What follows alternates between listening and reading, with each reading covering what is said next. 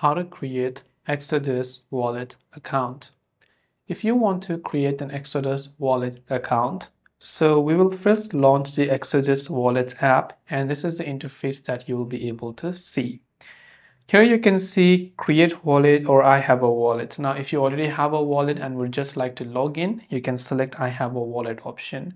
But if you don't, then you can just select the option that says create wallet and then just tap on it.